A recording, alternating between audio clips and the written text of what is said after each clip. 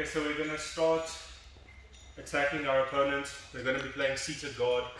Opponent is standing. So if I don't engage with him, it's going to be hard for me to do anything because in some cases if he's tall he's going to try to jump over and that's all good um, because remember the principles of the seated guard I've got my elbows I call it elbow in the cradle and I'm sitting over here feet are together and I've got the diamond shape so when I'm playing over here I need to have contact with him so he's already made a mistake so as you can see my feet are sticking out here so this is the double kuzushi, meaning an off balance. So if I hold him by the shin and I'm working over here, I can push him over and he's gonna be unbalanced.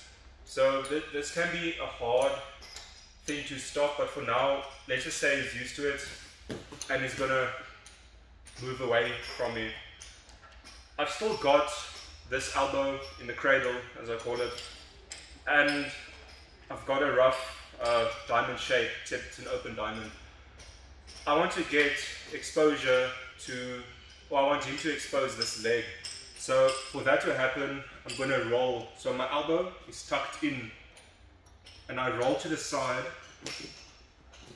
Now watch, as I roll, he lifts. From, from this position, it's very awkward for him. So I can grab here and I can sweep him but I'm gonna kick this leg upwards and look for the single leg. Boom. I've got the single leg X and my checklist is I've got this heel on his hip, I've got the back of my foot on his thigh and I'm covering the heel. So to get him to fall, it's a twist to his outside and I'm over here. So let's go through the checklist again.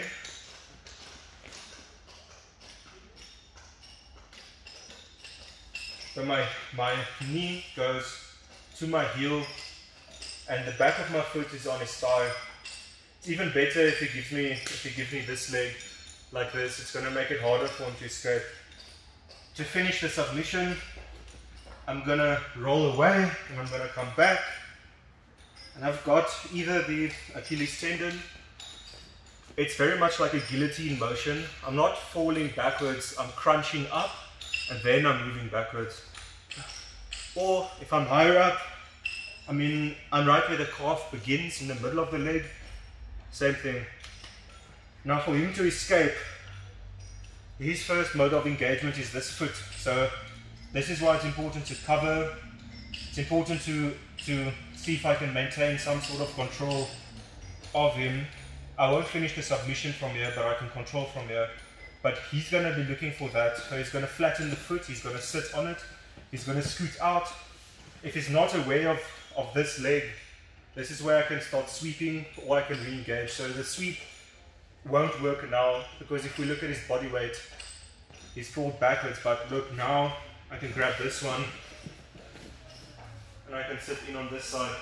So if you sketch the, the same way, it's going to like, feel the foot sit up.